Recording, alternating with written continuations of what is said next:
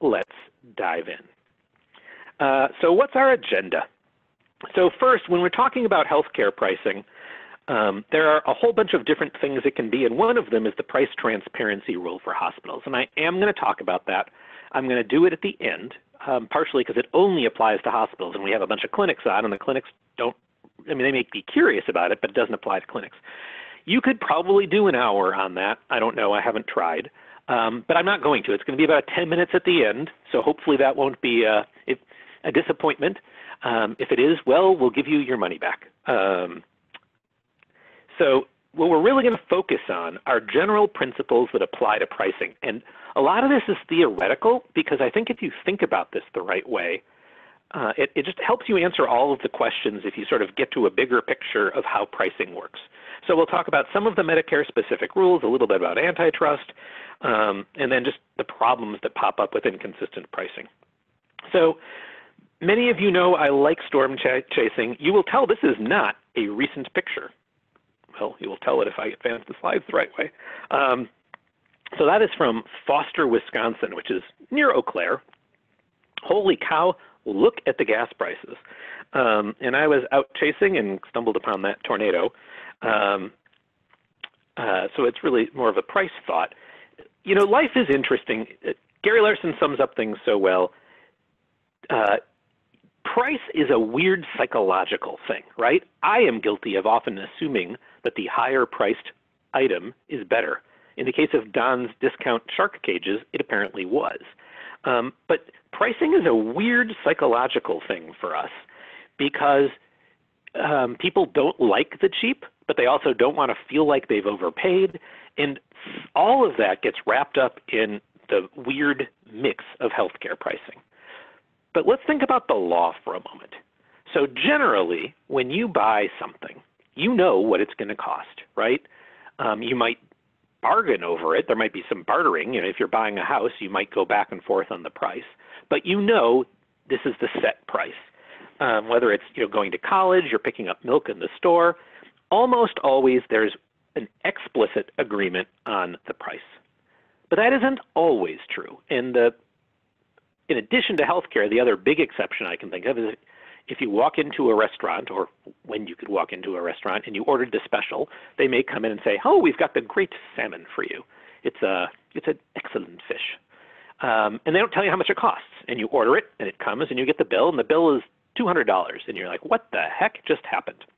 Well, if you were to go to court to fight on that, the way the court would look at this is it would say, since there was no explicit agreement on price, there's an implied contract between the parties. And we are going to look at what common sense says um, the price should be.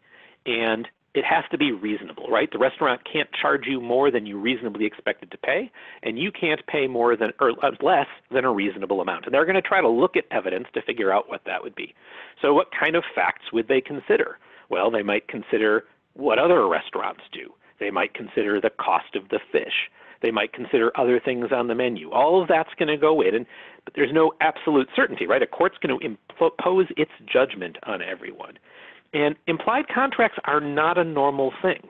So it's there isn't a ton of case law about it, and healthcare is probably the part of the economy where this happens the most. All right, and so it's really weird, and it's uh, therefore a bit unpredictable. Um, so you know, we've seen this happen. I, when I was a baby lawyer, we had litigation where a health insurer came into one of our clients and they said, We've gathered all of this data. You're above the 80th percentile. And since you're above the 80th percentile, we're not going to, we will pay up to the 80th percentile. Anything above is unreasonable. We're not going to pay. So they didn't pay. We sued them. We went into court. And what wound up happening were two things. First, the court said, sorry, you can't say anything above the 80th percentile is unreasonable. 20% of the market is there. So that you, you can't do that as a matter of law, insurance company. But in the course of the litigation, we discovered something else, which was the insurer, this was a, we had a radiology client, and the insurer was comparing our global charge to a bunch of technical only data. Um, and in fact, they didn't understand what a TC and a PC were or what that little dash 26 meant on claims. And so they lumped everyone together and you can imagine, yes, my globally billing radiology client was above the norm compared to technical only. Couple of lessons from this. One, don't trust whatever the insurer tells you is an automatically accurate thing. Uh, and two, be willing to fight on usual and customary type things, especially if someone is assigning them or is capping things at a particular threshold. The restaurant example is where think about hamburger is someone cannot walk into a steak joint and say, "Hey, I can get a burger for a buck at McDonald's. I am only paying you a dollar." That doesn't work, right? You have to take into account the totality of the circumstances, and you can't um, automatically impose prices uh, on one good just because there's a similar price on another good. Now that said, um, we, Mike Reiling, when he was alive, used to use a term, uh, the terminal uniqueness, and he would say some doctors suffer from terminal uniqueness, thinking that only they can do a particular thing and that they're you know special and different than everyone else. And you do have to be wary of thinking that your service is so good it can be charged in a way that no one else can charge. All right, a few editorial comments. I don't think that pricing is the highlight of the healthcare industry. And if you were to ask me, and I'm kind of curious if anyone wants to comment on this in the uh, uh, in the chat box, you can.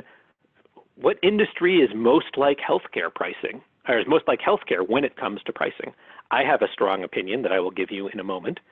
Um, I think one of the things that really louses us up are contracts that pay based on a percentage of billed charges in situations where we're trying to have a significant percentage discount. Like if someone wants to pay 95% of billed charges, I don't think that's a big problem. I think that works really well. The problem is 60% of billed charges or 50% of billed charges because it means that the billed charge is really functionally meaningless. A little 5% here and there, that doesn't matter to anyone. But 50% matters a lot and it undercuts the reality of the bill, and it's a lot of what confuses everyone.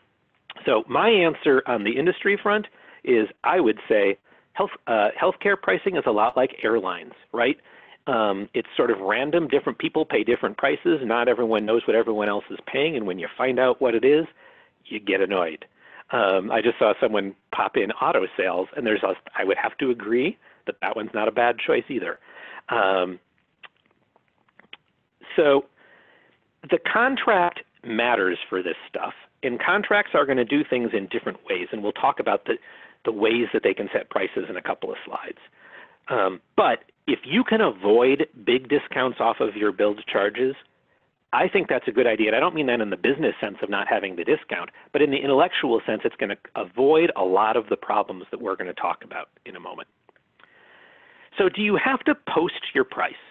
So Generally, at this point, there is not an explicit requirement that you do so, but there are a few major exceptions. First, um, COVID 19 testing must be posted. That was part of, I want to say, the CARES Act, but it might have even been the one before, the Families First. I don't know. One of the acts includes an explicit requirement that you do, that you post the, the, the, uh, the cash price you will accept for COVID testing. And then it requires insurers that you don't contract with to pay that price. I have to say I'm kind of impressed with that stylistically. I think that's a, a smart way of handling some of this. Um, when yesterday I saw an email come out that said price transparency in it. And I thought, oh, wow, an announcement is coming about the hospital price transparency rule. But it was, in fact, CMS telling us about that COVID testing thing, which they're calling price transparency on the one hand, that is accurate. On the other, it's terribly misleading because there's a whole price transparency rule coming down, and I felt like it was bait and switch.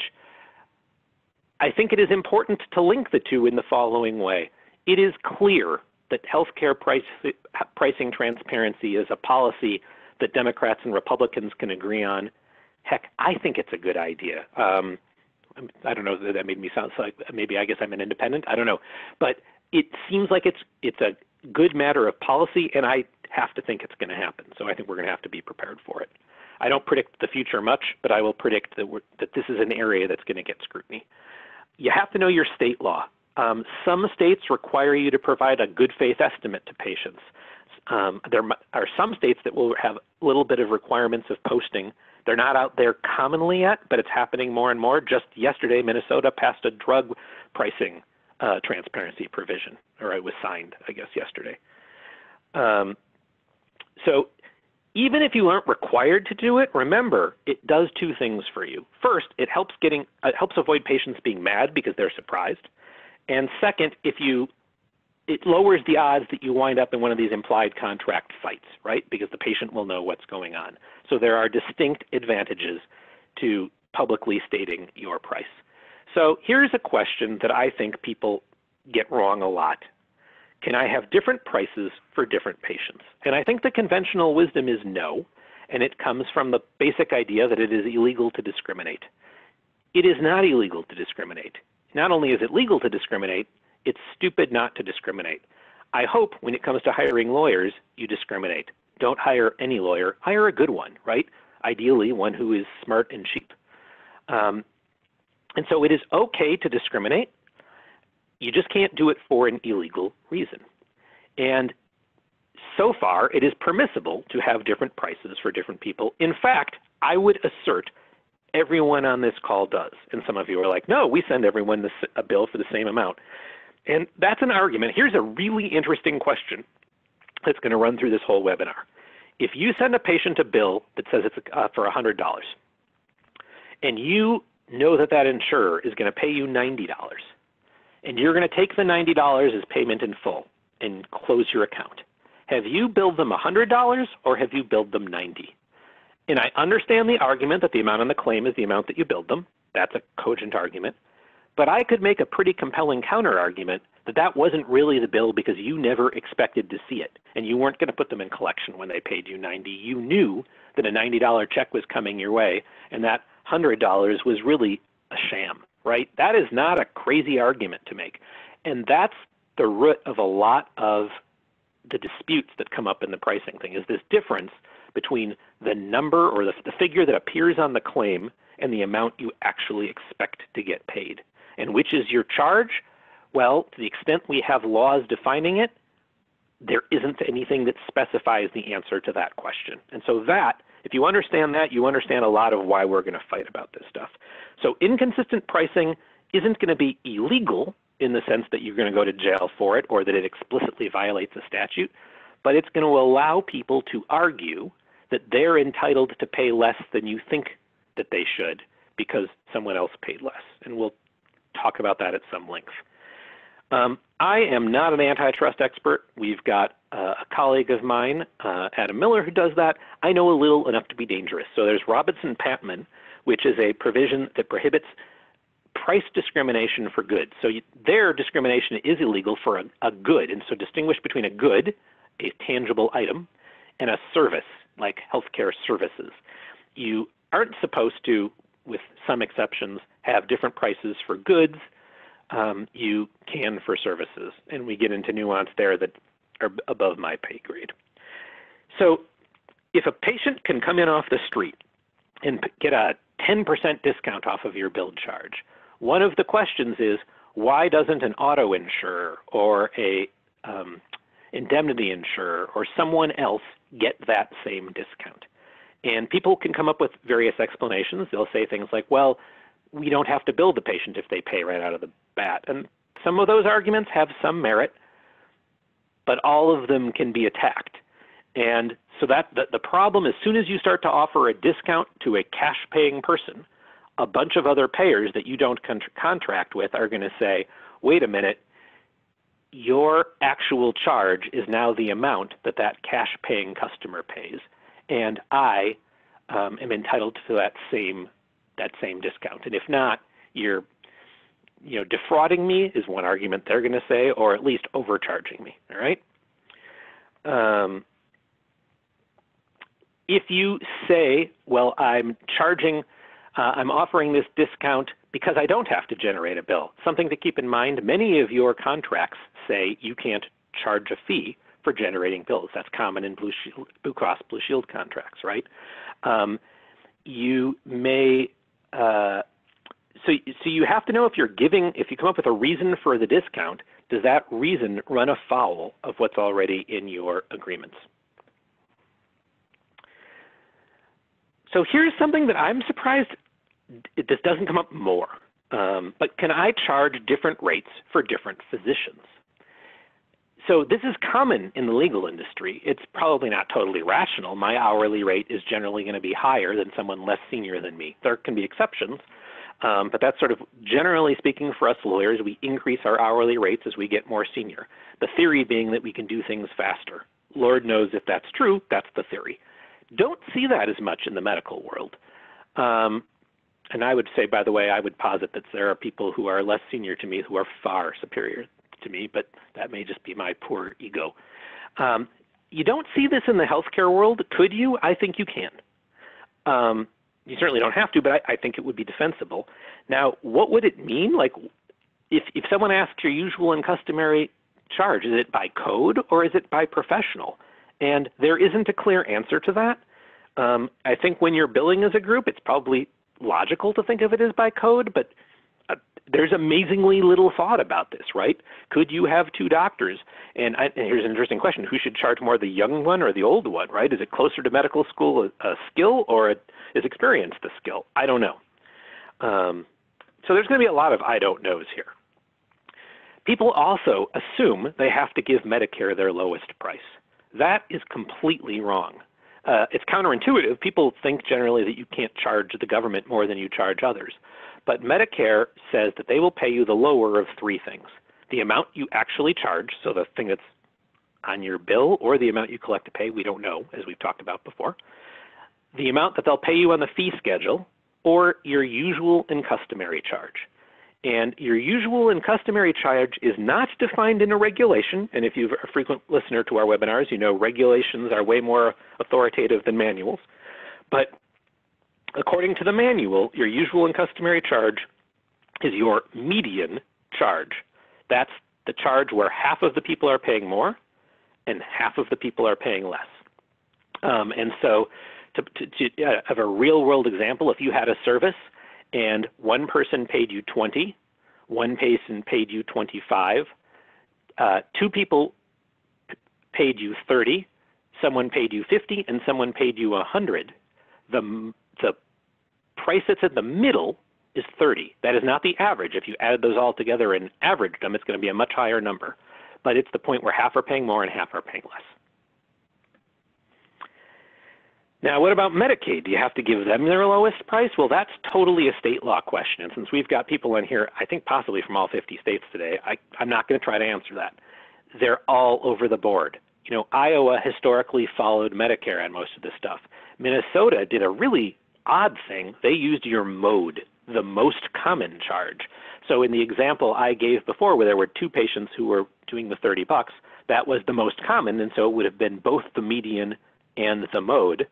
Um, I so want to make an a la mode joke there, um, but you got to know what your state does. Can you require a patient to pay more than their insurance pays? And this is going to vary payer to payer. So first, do you have a contract with the payer?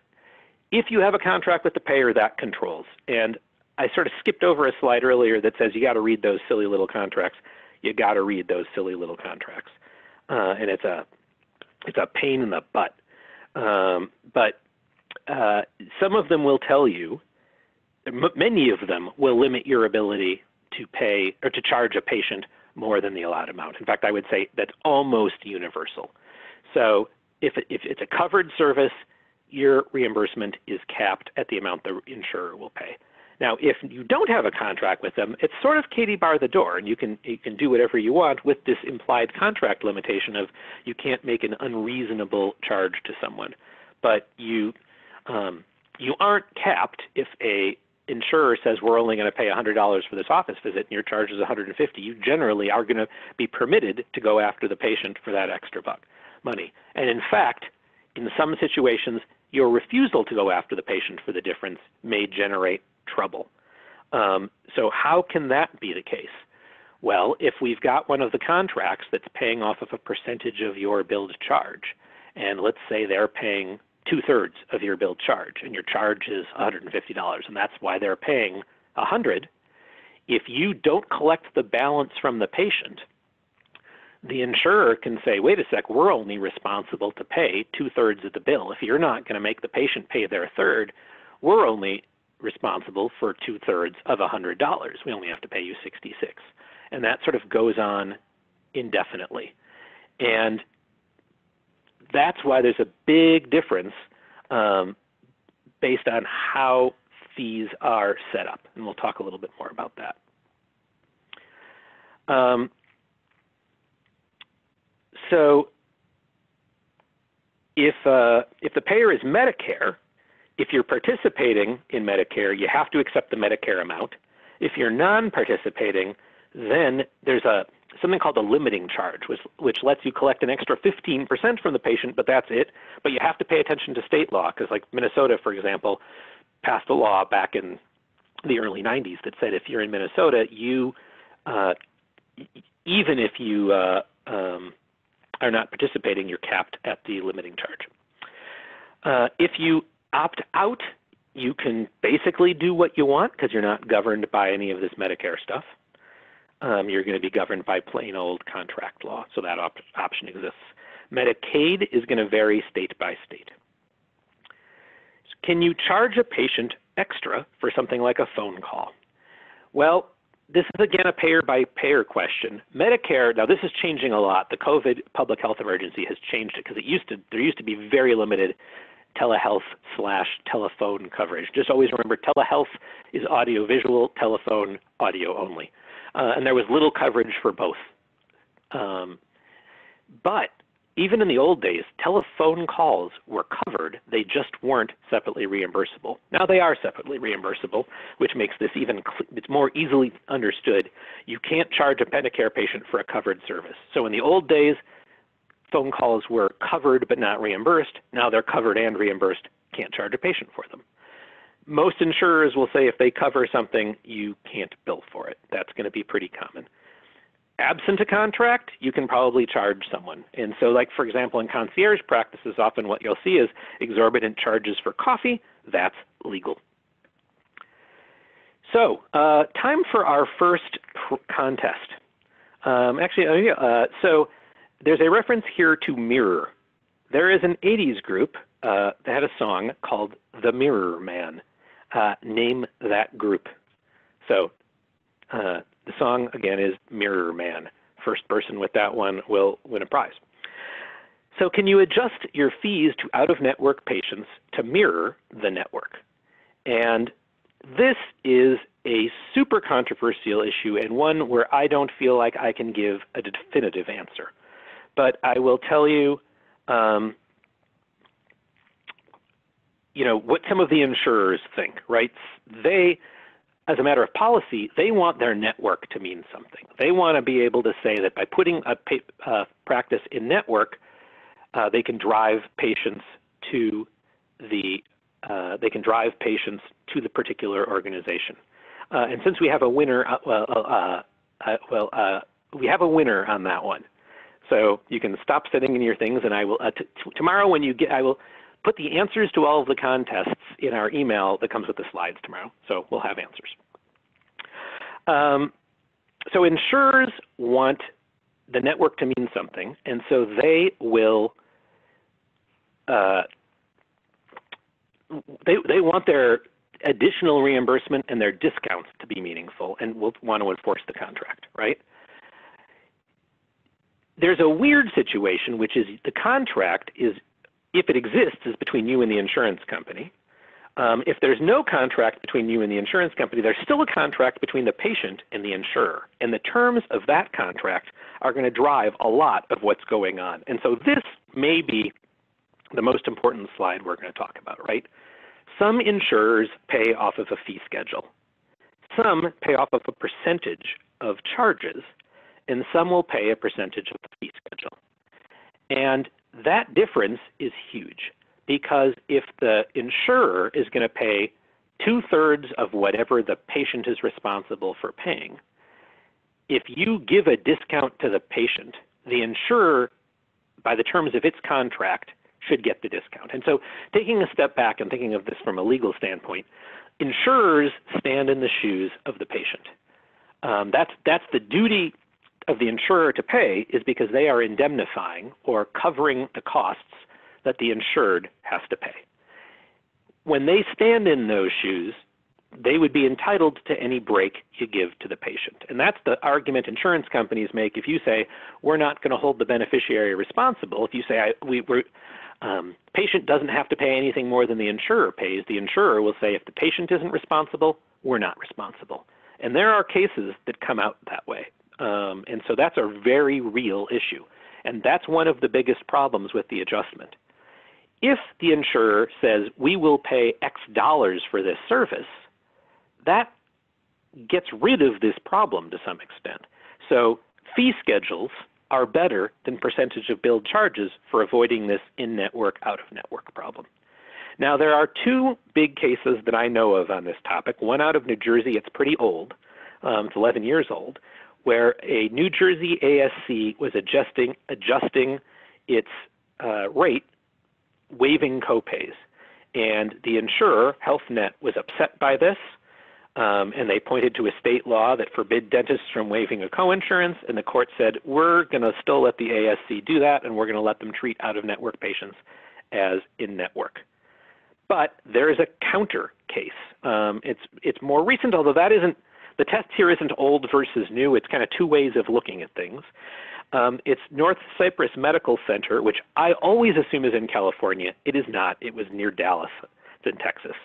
Uh, and they had a big fight with Cigna because they were giving discounts to out of network patients. And Cigna said, if you give that discount, we share it too.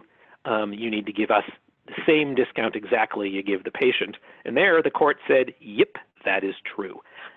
I worry that that latter one will carry the day. I think that those arguments, the arguments made by Cigna, make a lot of sense. Um, all right, are there limits on how much I can raise my prices? Federally, there are not. State law may apply. Something to just put in the back of your mind. Antitrust law says that if you raise your prices by 5% or more, that's sort of suggestive of a monopoly. And let's do just a quick little walk down the antitrust road. So antitrust is a is a complicated law that uh, that supports the idea of competition, right? And we don't know in healthcare, whether we want competition or not. There's this competing idea. Competition lowers prices in most things, but sometimes we think competition in healthcare increases prices by increasing redundancy. That's a conversation for another day, but it's out there. Antitrust law generally is biased in favor of buyers, and it's very policy driven. It's less legal and more policy. Um, so here's a question people ask a lot. Can you know a competitor's charge, right? Can you call up a competitor and say, hey, what would you charge for a, uh, a 99213? And I, I didn't put the stuff on here because I kind of want people to think about that for a second. I'm curious as what you think the answer is. Well, the answer is, of course you can. And this isn't one where people's immediate reaction is often inconsistent with the law, right? Target knows what Walmart charges and vice versa. It isn't illegal to know what someone else charges. What is illegal is to agree on a, on a charge. And so if you're a student on this stuff, you might know that, for example, on salary surveys, companies will often have a third party and they will share the information. So why do they do that if it's not illegal to just gather it yourselves? Well, knowing the information may make it more likely that people either agree or act like they've agreed. And the courts will allow um, will allow an agreement to be de deduced through people's conduct, right? So if everyone follows everyone else, they may think there's an agreement. Now, that's not always true. In the airline industry, it's called conscious parallelism, right? So Delta lowers its prices, and American and United does the same, but they haven't agreed. They're just following each other. If they do it on their own, that's legal. But if they have a meeting and they go, hey, we're going to lower our prices to X, why don't you not go below, wink, wink, nudge, nudge, that's enough to be the agreement, um, and that can be an antitrust problem. So I could turn this into a quick lesson on antitrust. I will just mention a couple of terms and define them quickly. It is always good to remember that in the antitrust world, there are kind of two things to think about, the product market and the geographic market. So the product market is what are you selling? So who else can provide this thing? So in the world for orthopedic services, you know, I have some people sometimes ask, well, is a chiropractor a competitor of an orthopedic surgeon? Well, they can't do orthopedic surgery, right? So they probably aren't. Um, is a podiatrist a competitor? Well, on foot type things, yes. Uh, on hand things, no. And so there's a product market and then there's a geographic market, which is how far people will go. Um, and a story I often talk about is out of it's a case involving cardiac surgery in Nebraska.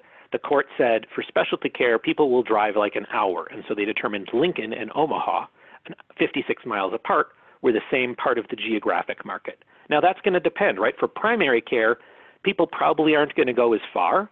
And obviously, mileage is going to matter. An hour in New York City is not the same as an hour in Nebraska. So, price fixing is special and it's especially bad. Often you need market power to get in trouble on an antitrust claim.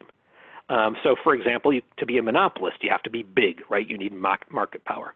Price fixing is what's called a per se violation, and size doesn't matter the two smallest people in the market, if they agree on a price, that's still a felony and you can go to jail.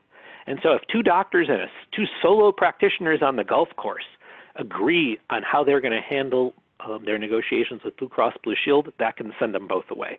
Um, similarly, boycott is kind of the same thing. So this New Yorker cartoon sums it up well. You know, if you, so if you said quit taking insurance, pass it on, that's probably legal. But if you said quit taking Blue Cross Blue Shield, that is not. So um, I'm just going to skip that slide, I think, for the moment. So um, generally re requires uh, agreement between competitors, but not monopolization.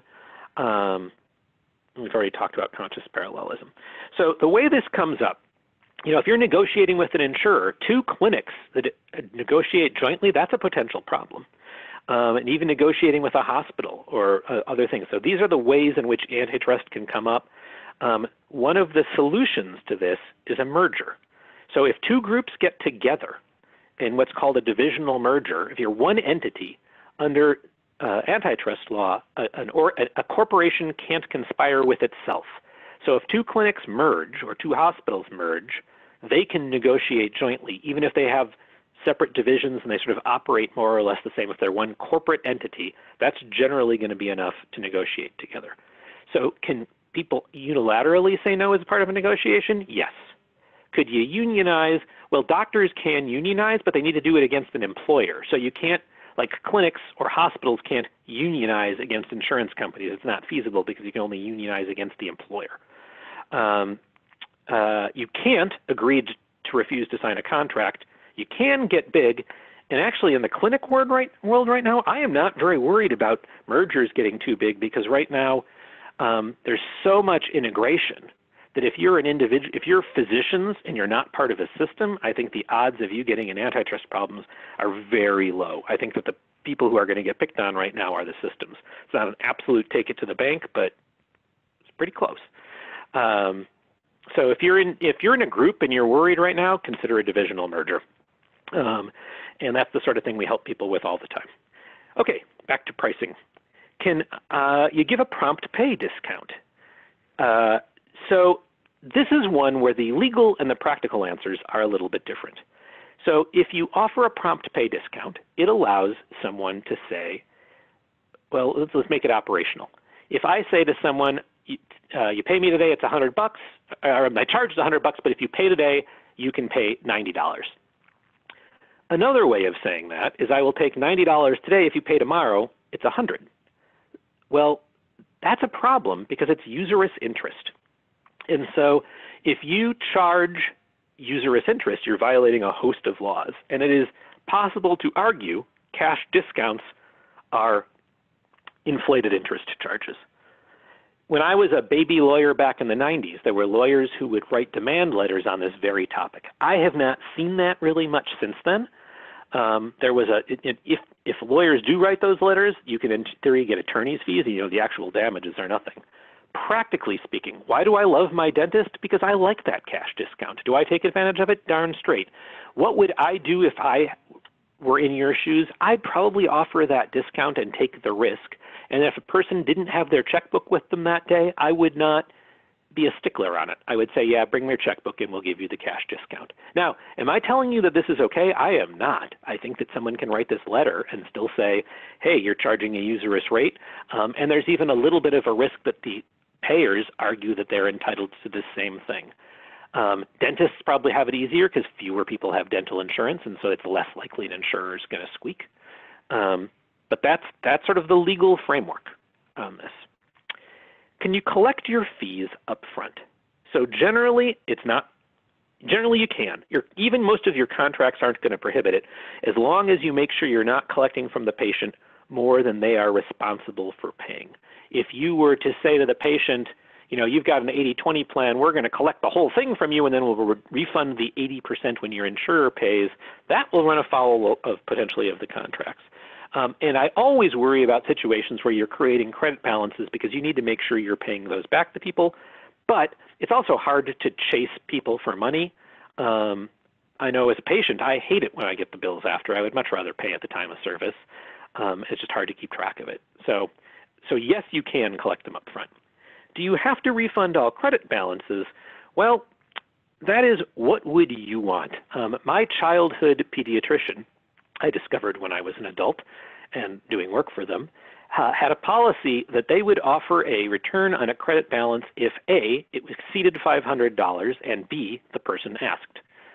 In other words, if they owed my family $400 and we didn't ask, they were going to keep it.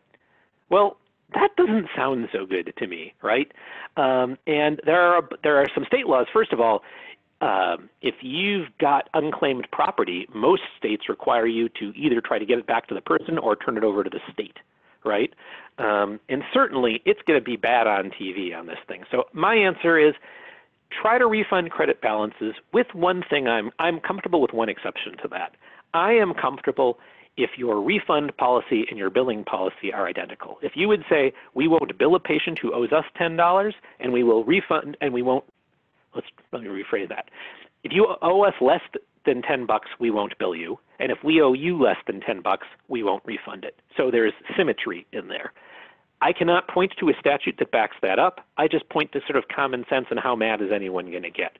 Uh, I once got a bill for 18 cents for a lab test that was really dumb that the, or, that the organization that sent that to me spending more on the postage than the bill. Um, I don't want to get those bills. You don't want to get those bills. I don't want to get a check for 18 cents, right? And I think no matter how poor you are, a check for 18 cents probably isn't the thing you're really looking for. Um, but as the numbers creep up, there are, you know, $10 matters to some people. And so you got to be sensitive to this. Um, but consistency, I think, is what's going to keep you out of trouble. Can you charge patients who don't show? Well, it's a payer specific question. Here's a crazy one Medicare lets you do it. You can charge Medicare patients that no show. Um, and uh, well, well, I'll have the MLN on this in a moment, but their theory is you can charge Medicare for lost business opportunities. Private payers, you need to know. Medicaid, it depends on the state. I will say if you're going to do this, I would let people know because we're back to the implied contract thing. Uh, you can make people mad, and and you may not want to do it. I mean, so for example, if you're charging people who are no-shows, if someone thinks that they have COVID-19, they're more likely to come in um, because they don't want to be a no-show, right? And so be aware of the collateral consequences of possibly having this policy. Um, but can you do it for Medicare? Yes, and often you, often you can. I would make sure you're notifying people ahead of time. Can you waive copayments? I got a ton of slides here. We're going to go really quickly through this because I want to leave time to do the price transparency stuff. So there are two different laws, and I am often guilty of focusing on the anti-kickback statute more than the civil monetary penalty provision law. Um, waiving copays is often trouble under both of those laws, state laws, and there's a great case to read that describes the problem. Um, uh, it was a chiropractor who advertised, come here, I won't charge you your copay. And the court explains the whole point of the insurer was responsible to pay 80% of the charge. If you're giving, if the, if the patient doesn't have to pay their share, you take 80% of the smaller amount. So if you were starting at 100 bucks, it goes down to 80, then it goes down to 64, and it just keeps going down ad infinitum. Uh, and so it, any discount shared, we've kind of talked about that concept. That case explains it well. Um, the anti-kickback statute is intent-based, so it will look at why are you waiving the copay. And so if you're doing it um, because the patient is poor, for example, that's not going to be a kickback problem. The civil monetary penalty provision is similar, but instead it uses a know or should know that it's likely to influence the beneficiary's selection of a provider. Similar, but not identical to the anti-kickback statute. Um, you got to know your state laws. You know, they don't always follow the federal laws. Most of your insurance contracts are going to do it. Now, can you waive copays for the poor? I would say yes. If someone's uninsured, I'm just not worried about it. Um, I don't think there are a bunch of cases about this. There was a situation when Congress did an investigation back in 2000. The American Hospital Association suggested hospitals were skeptical of giving discounts to the poor because of the anti-kickback statute. Um, and I rolled my eyes at that one because if people don't have insurance, the anti-kickback statute doesn't apply. It only applies to people with insurance. Um, well, not even with insurance, but to Medicare or Medicaid, right? So if you're uninsured, not an issue. Um, can you write off a copay for the angry? I would say I, I feel very comfortable with that. Um, I see ways it can be attacked, but if the patient has been hurt, what I would argue is you're really, in essence, settling a dispute with the patient, and the insurer doesn't, they're not a party to that dispute. And so what you're giving the patient isn't something to which the insurer is entitled. Can you give free care to employees? Well, yes, but it has all kinds of interesting collateral consequences. Um, I rec generally recommend not doing it because, for example, if you're doing it totally free, you're giving a huge discount to the insurer to give a small discount to your employee. So that seems like it's just not a good business decision. And if you're doing insurance only with the uh, employee, we're back to the well, it's fine if the insurer doesn't matter, but if the insurer wants to squeak, we're right back to the patient isn't liable, insurer isn't liable problem. Um, there also can be some benefit plan issues, and I'm not the top expert on this. Deb Linder, my colleague, knows a bit more, but there was a case involving Emory University a decade or two ago um, where they got in trouble for this for basically violating some employee benefit laws. Uh, and you can kind of see how this is because it, it, it, it is of differential value to different people in the organization. Um, also, it gives patients an incentive to see you, which can be good. I mean, you, you want your employees to come to you on some level to feel like they can trust you, but it also can create a uh, employment issues when you get someone who's come to you for a medical condition, if they get fired and then claim you were firing them because you knew of this medical condition. I don't know. All in all, for all of these reasons, I'm not a giant fan of discounts to the employees. What I would do instead is take the money you get from their copays and stuff and throw it into some fund that you use to throw a party for people. But that's sort of personal opinion. Can you give free care to doctors? I have too many slides about this, but I'm just going to say the anti-kickback question is why are you doing it? So if you write, don't charge him, he's a good referral source, as one of our clients did once, that's a big old problem. Um, if you do it universally for all medical professionals, um, that's probably not a kickback problem, and it's if you comply with so if you're a hospital or, or if you're doing designated health services ordered by the people who are, you're getting these discounts, you have to worry about Stark. Um, if you are a clinic and you don't do designated health services for people, you don't. If you're a hospital, you by definition, you know, any of these people, if they admit to you, you'll have to worry about it, and then you have to, to worry about the Stark. Uh, so these are that's the list of designated health services. You got to meet the Stark exception. It's lengthy, and I'm not going to go into it at length. It's right here. Um, can you give discounts to the poor? We've already covered that one. Do you have to provide charity care? Uh, so there's a big distinction here between can you and must you. Uh, and there's a big distinction between hospitals and clinics. First, if you're a nonprofit, you're, there, there's a you've got to provide some sort of tax exempt purpose in there. It can be through education or it can be through charity care, but there's much more of an, a requirement on hospitals to provide charity care. For-profit clinics generally have absolutely no duty to provide charity care. All right, so you have to know about your federal tax exemption requirement. You have to um, either be doing uh, relief to the poor, or you can might be able to doing education and science, but you have to do one of those, and you have to know about the Form 990 Schedule H. Our tax exempt people um, are, are good on that. Jessica Manavasker, um, Steve Beck, and the like. So um, you have to do something probably if you're tax exempt, and not if you don't. Um, Medicare lets hospitals make their own determination of who's indigent. Um, and then Medicare sets out criteria for its policies. And really, this only matters to the extent you're trying to claim write offs as bad debt. Um, and so Medicare sets out this sort of basic principle.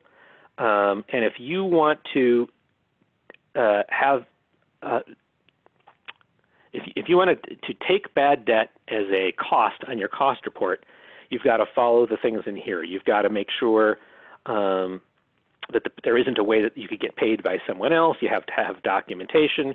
You have to take into account the patient's total resources and the like. Um, so do you have to put patients into collection? If you're a clinic, no. If you're a hospital, yes if you want to claim bad, the bad debt on the cost report. So it, if you don't want to claim the debt, you do not ever have to put someone into collection. If you're a hospital and you want to claim it on your cost report, then you do have to figure out, um, you basically have to provide support for the idea that your fee is real, right? Um, and for a clinic, that's I, I, worry a little bit about wink wink nudge nudge discounts where you're you're not going to charge the patient um, you, know you're sending a bill without attempting to collect it. Someone could argue that that's a fake charge and going into your whole charge analysis. But if someone is poor um, or you're worried that they're mad at you on malpractice you can write those amounts off. And then here's the federal regulation. If you're a hospital and you want to claim stuff on your cost report it's got to be um, for a covered service. Um, you have to show that you made a reasonable effort to collect it um, and that you used sound judgment determining that you weren't going to be able to. Can you charge interest on debts? So you got to know both federal and state law. If you're charging interest at, at, a certain level, it often becomes a truth in lending thing, and you have to follow all of the credit, credit card disclosures. I turn to our banking people for help on this. It's complicated. Um, so if you want to do this, make sure you get legal help. We can get you set up with someone on that. Um, let's put it this way I don't fully understand all of this stuff, but I get parts of it. You do have to worry about your state usury laws. Now, Medicare will often tell you that you can't charge interest. And they will point to this regulation. And I don't know if the client who got this letter, but it was a client in the southern part of the United States, got a letter from CMS saying, We understand you charge insurance. You're not allowed to. This was about a decade ago. And I wrote them back and I said, You are wrong. You are allowed to. And here's why I believe you're allowed to. And this is the Medicare Learning Network we were talking about earlier when I discussed how you can charge for um, missed appointments. And this is the explicit thing, and it says you can charge for lost business opportunities. And interest is, after all, a lost business opportunity for money. You know, you're not charging for a service, you're charging for a lost business opportunity. So I wrote to CMS about a decade ago and said, you're wrong. You cannot get mad at my client for having charged interest. And I am still waiting for the response to that letter. Um, and I believe the reason I have not received a response to that letter is because the letter was right. So you can charge Medicare. Um, you don't have to. If you're charging, you got to know your state law. I picked two states at random because I looked at this for people in Georgia and in Minnesota. Um, you know, so in Minnesota, if you don't have a written agreement, you can charge up to six percent. A written agreement lets you get to eight percent. Um, and if you want to go above, you need a license. Georgia, slightly different. You can go to, you know, you can see if you're below uh, seven percent or below, you don't need a written agreement, but you do need one for above eight. Um, and then it's com- it's complicated. This stuff is hard. It's often for places not worth it, but something to think about. Um, and then just something to keep in mind: there are special rules for the Fair Debt Collection Act. Um, so, like collecting from people there are protections for debtors. You can't be calling them in the middle of the night. Um, so it's just something to keep in mind. Hope most of you guys farm this out, so I'm not going to focus on it. But if you're trying to collect inside, know about it. All right, now uh, a contest and a uh, picture, and then we will move on. So there is a song, Money, Money, Money. Uh, and uh, I'm not thinking of the Money, Money, Money. Uh, I'm thinking of one. This is by a group that if you want to take a chance on the answer, uh, it is a four person group, heavily blonde. Um, uh, and so that's the song I'm thinking of. All right. I was in my backyard on Monday and I saw this. And uh, it made me think there's a news story. Apparently, a lot of people are eating junk food right now, and I understand that there is a shortage of Oreo cookies. And I think it is terrible that people are willing to eat these really cute birds in the form of a cookie. Um, but I also hear that they are increasing the manufacturing of Oreo cookies, so there will be more of them for people to eat that double stuff on. Okay, you can groan now. Last thing we're going to talk about. Uh, and we, I will do questions at the end, and we do have an answer on our money, money, money song. Uh, uh, I'll tell you this one now, but it'll be in the, it, that's ABBA, um, which is why you could take a chance on them. All right, pricing transparency. So we got about 10 minutes left. I will go through the pricing transparency and then I will answer the questions. So, oh, I did not mean to advance that slide. Uh, okay, so uh, there, here's a cite to the rule itself, which came out uh, in November of 2019. It takes effect, in theory, January 1 of 20, 2021. Uh, if you're a clinic, you can listen to this for curiosity. It doesn't apply to you. It only applies to hospitals. It applies to all hospitals. Um, there's lots of questions about whether it's ever going to come into being. I will talk about those in my last slides. It defines some terms, and this is one, the regulation is more complicated than it needs to be. Um, I get my hair hurts when I read parts of this, but I've sort of started to learn how to simplify chunks of it. And part of why it gets complicated is so, for example, we're going to talk about minimum and maximum charges. You have to post your minimum and your maximum. Well, you also have to make available literally every a rate that an insurer pays you. Since you're doing that, why do you have to separately do the maximum and the minimum? I do not know, because if you're listing them all, the minimums and maximums are in there. But I guess it's for ease of use. But in any event, um, so you've got your de-identified maximum and minimum, which are the amount that the highest charge that a hospital has negotiated. So we're using the word charge here, but it's really a rate you're going to get paid. And this is highlighting the semantical differences between charge and uh, reimbursement. So this is what you're going to get paid, but they're using the word charge, the highest amount and lowest amount from an insurer. You're, and actually, if you're a clinic, you might want to listen to this because actually the semantic conversation is, is worth something um, your discount your discounted cash price. So uh, is the charge that a person who pays cash. I am really going to start to have a problem speaking here, but the person who paying cash, whatever they pay, that one makes sense, right? That's the discounted cash price. Your gross charge is the amount that appears in the hospital's charge master without any reimbursement. So that's your gross charge then you have to put you're going to have to put stuff together in a machine readable format. That's for the computer people. And then there's a term that's a shoppable service, and these are a list of things that CMS is putting out where people are likely to compare. So it's stuff that people think about in advance, right? So OB, people shop for OB. You don't usually shop for your uh, myocardial infarction stuff because that tends to happen quickly. So you'll shop for hips and knees. You won't shop for appendectomies that wasn't intended to rhyme, but it sort of did. Now, a key term is the standard charge. This is how they define it. It's the regular rate by the hospital for an item or service to a specific group of paying patients, and this includes all of the following. So your standard charge is your gross charge, that's your charge master amount, your payer specific negotiated rate, so whatever they're actually going to pay you, and your de identified maximum and minimum, and the discounted cash price. So your standard charge is five different things. That's confusing, but in a weird way, you can kind of get where it's coming for, from, right? So the regulation sets up, um, you know, kind of two sets of public disclosure requirements. So you have to make available a file that has all of your standard charges, and then separately a consumer-friendly list of your standard charges that's just for shoppable services. So the first one is literally everything. The second one is just stuff that's shoppable. All right, and it's another one where you go, well, why are, do we have these two things? If you have to list it for everyone, why the shoppable ones? And I think the reasoning is they want people, they figure the shoppable stuff will be easier for people to figure out um, and it's not going to be as overwhelming as this machine readable thing, which I guess is really going to be there for companies to come in and mine data um, and then try to sell it to people because I can't imagine patients are going to be going through those big machine readable formats, right? So there really are these two separate requirements, um, publishing your standard charge and then displaying a shoppable service list. They're related but different um, for the shoppable service list, in, instead of having a list, You can have an estimating tool where people can use the internet, the internet tool and type stuff in. And if it has a bucket of, there are going to be 70 things that it has to include. And then there's another 230 additional ones. And I still don't really understand this part of the rule. It, I get really confused every time I read it. Um, for both of these, they have to be prominently displayed on your website and have to be accessible to the public without charge or registration.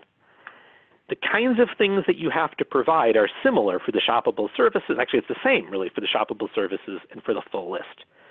So you have to have your gross charge both for inpatient and outpatient stuff. So basically everything is inpatient and outpatient. Your gross charge, the payer specific negotiated rate for each payer. So basically every different amount different payers pay you. Holy Toledo, right?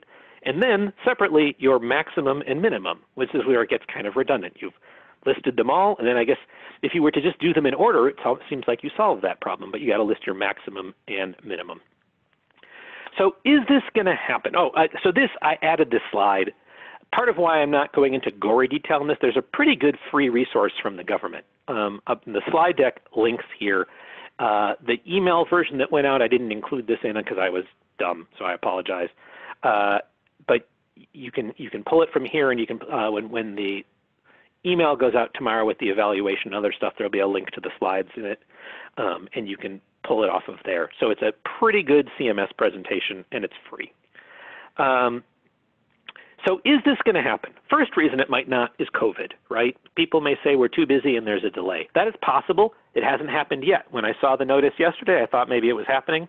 It isn't. And I don't know. I think people really like price transparency, and so I don't know if it's going to happen. But the other thing that's happening is there is a lawsuit. Um, AHLA, uh, uh, AHLA, let's try that again. Uh, the AHA, it's not the American Health Lawyers Association. So the American Hospital Association filed a lawsuit saying that this provision violates the First Amendment because it compels speech, it goes beyond the authority and the law, um, and it doesn't, you know, materially advance the state interest, and it's arbitrary and all that stuff. So I am generally a fan of lawsuits to challenge regulation. Well, I guess I'm, I do not know if I am or not, but I often support challenges of regulations, and I often think things are overly broad. I'm not sure that this one is that this lawsuit's going to prevail. Um, first, the state can't speech when there's a good reason for it, and I think one could make a pretty good argument that patients should understand the mess of charges we're in. But I want to focus on the statute for a moment. So I don't remember when this passed. It's a long time ago. I want to say this might be a 10 year old statutory provision. And it's hard to see, but look at the, um, the red S in the standard charges, right? So here's the statute. Every hospital operating within the United States shall for each year make a public list of the hospital's standard charges for items and services provided by the hospital. And the reason I think that plural is so important is that it's recognizing that for each item and service, you might have more than one charge. I think this law understands that hospitals have different charges for different payers. And this also goes back to where we started, right?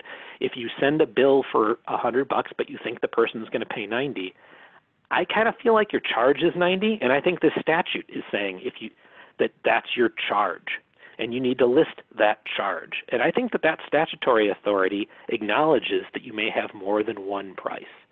Um, and so I am afraid that the AHA's lawsuit is going to fail on this. All right, um, we're right at the top of the hour, and I've got a few questions to try to answer. Uh, and so before I do that, I'm just going to mention a couple of, uh, uh, uh kind of close with a few observations. So uh, I started by mentioning our flat fee advice thing. If you want to be able to call us up and just ask a question like about pricing, but you're thinking, I don't want to pay an hourly rate, um, we have worked with a bunch of clients to say, hey, for a flat amount per month, we will answer the questions you ask. Now, this obviously requires a kind of, it has to be fair on both sides, right? We can't answer an unlimited number of questions for a very small price. Um, but that said, it's worked really, really well with the clients we've tried this with. So if you're interested in that, you know, wh whoever your main point of contact is at Fredrikson, give them a call. You know, if you don't have one, if you want to give me a call, feel free, uh, and we are happy to set that up.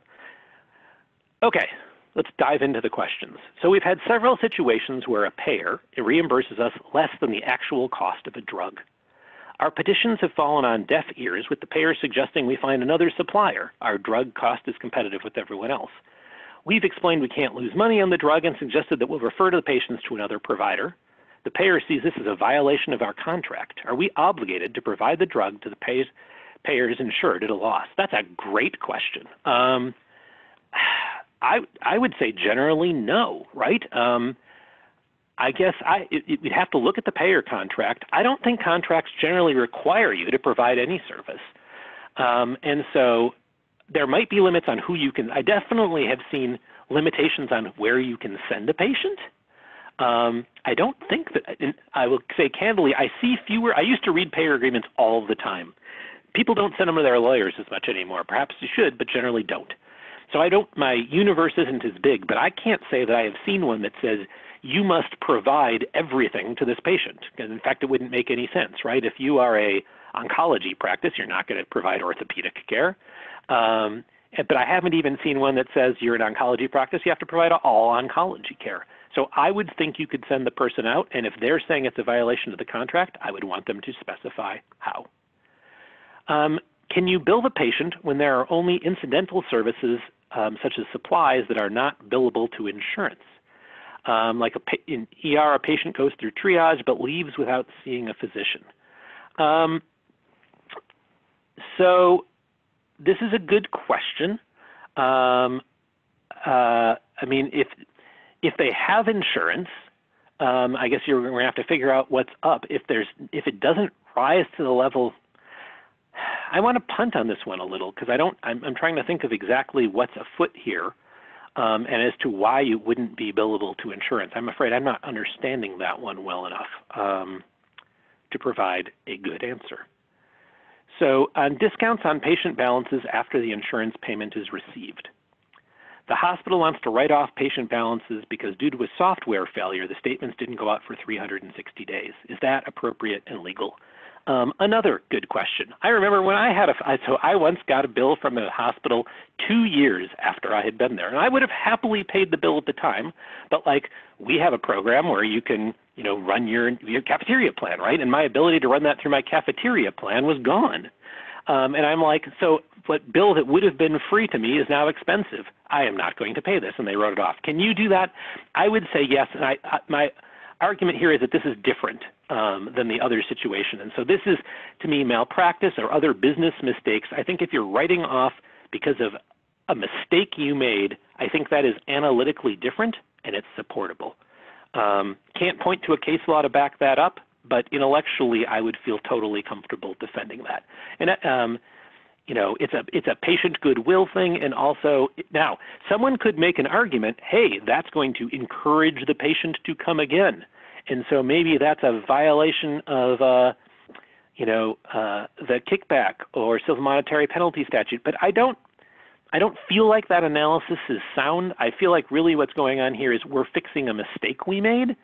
Um, so that's kind of my take on it. But it's it's not crystal clear, but that's what I do. Can a practice have a cash rate where patients opt out of taking their insurance and pay the cash rate? No claim will be sent to patients uh, uh, sent to the insurance. Well, it still has the problem out. It, I mean, it still creates the problem, right? Um, that is definitely a charge that's out there. And for insurers that are paying you the equivalent of your billed charge, I think the problem still exists. And I think there's a giant intellectual um, there's an intellectual problem here. So I do, I do not love that. Um, one of the big issues with hospitals that are in network, but the ER docs are out of network, resulting in surprise billing. Can you discuss? That is a big thing. Um, I've helped friends with this problem because and it isn't limited to ER, right? It's it happens in surgeries. Anesthesiologists are out. Um, I am actually sympathetic to patients on this pickle, and I would argue that when there is a surprise bill, this is where implied contract comes into play. And I'm going to focus on a friend of mine who had gone to the doctor um, for a, an OB procedure, called and asked and was told everyone was in network, and then found out later anesthesiology wasn't and got a $2,000 bill. Um, and what wound up happening ultimately was a letter to the state attorney general to say, hey, this is not, this is a violation of the implied contract. And I think it is. And so I'm actually somewhat surprised on some of this surprise billing thing. I guess people often don't want to go to court over small amounts and stuff like that. But, but it, when the bill is a surprise, the person who is surprised can point to this implied contract. Um, and so to me, if people are out of network, if you are an out of network professional providing services to patients, I would figure out a way to make sure you're communicating to patients what's going to happen because I think their surprise gives them a defense for not paying that bill. All right, and we're just about out of time, but I will. I see one last question here, and I will do it. And I, um, I guess I will mention for those of you who stuck around and you're saying, "Gosh, I should have gone to the top of the hour." Remember, all of our webinars are available for free. So, for example, if you want to make someone suffer through listening to this, um, when you get the link tomorrow, that you can send it to them. And our past webinars are out there uh, for free. If you're looking for the CLE credit, um, the information about that, or CLE or also HCCA, will be in the email tomorrow. So uh, I'm a lab that wants to have a different charge or fee uh, for tests that are based on location of the physician who referred the tests. Any concerns? I think that's a way more logical and defensible approach. Um, you know, I, geographic variability exists in the Medicare program and the like. Um, I'm I'm much less worried about about that. And it isn't all price variation is always illegal. It, you want to have a reason for it, right? Um, and one of the reasons you might have a different prices is different cost. Um, so hopefully that makes sense. Well, gang, I do want to thank you all for for listening. Um, uh, please do fill out our survey. We we read it. Uh, in fact, the reason we're doing HIPAA next week is that the most common request for topics uh, is HIPAA oriented. Um, and so we do try to pay attention to what people want as future topics and the like. And so in the interest of giving, uh, meeting the need, I think we're going to do HIP, uh, free HIPAA training for people next month. If there's another big COVID thing, we will do an update then. And uh, in the meantime, I hope everyone is able to stay well and stay sane. And if you're looking for flat fee information, give us a buzz. Thanks. Have a good day.